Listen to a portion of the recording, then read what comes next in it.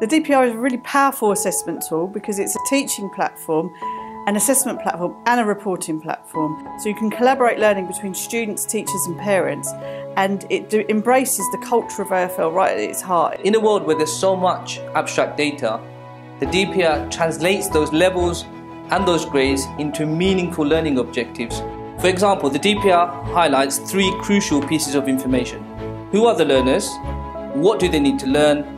And who are the teachers responsible for delivering that learning? As CEO of a small MAT, it's important that we've got a very challenging curriculum. DPR facilitates effective tracking across the trust and I'm able to compare and challenge appropriately. Uh, the fact is I can access it from anywhere really. It gives me the opportunity to you know, look at students' work, and to review their progress. I can do it when and whenever I need to and it really saves me a lot of time. By monitoring the DPR's strategic overview, I can ensure that a high standard of work is being taught across our department.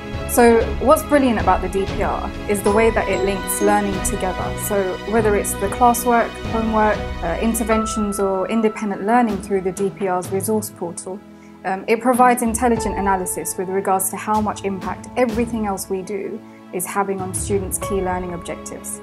To be able to monitor my child's progress for all his subjects at any time I want to has really empowered me as a parent.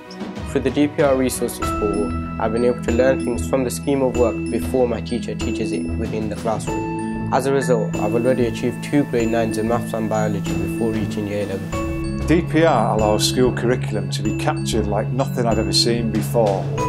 It's a game changer and it's definitely the future of education.